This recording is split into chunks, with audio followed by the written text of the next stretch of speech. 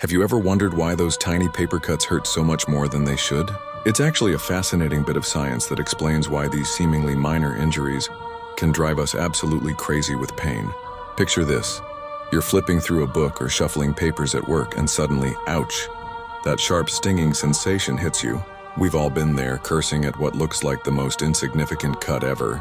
But here's the thing. That small paper cut is actually a perfect storm of pain. When you get a normal cut, like from a knife or scraping your knee, it usually bleeds right away. That bleeding actually serves an important purpose. It helps clean the wound and begins the healing process. Plus, the blood creates a protective layer over those sensitive nerve endings in your skin.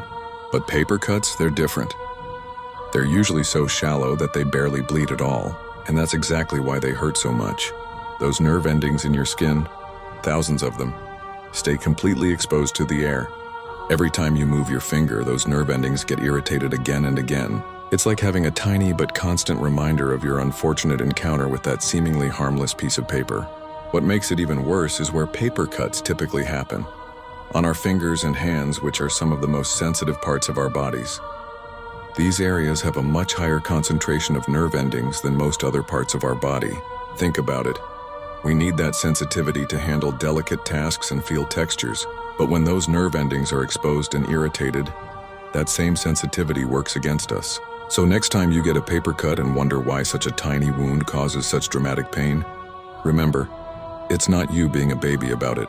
It's actually your body's nerve endings screaming for that protective layer of blood that just won't come.